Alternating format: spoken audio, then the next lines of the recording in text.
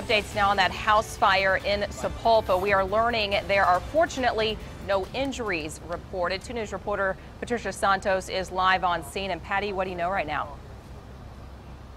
That's right. This is the scene that we're looking at right now. You can see that Sapulpa fire crews are still putting out those hot spots right now. This happened uh, on the 8400 block of Westway Road. This is near I-44 and 81st Street. Uh, we're told that Sapulpa fire crews were called here around 4 a.m. It took them about 35 minutes to put out this fire. And right now there's still a few hot spots that they're putting out. We saw a few flames shooting up just a few minutes ago.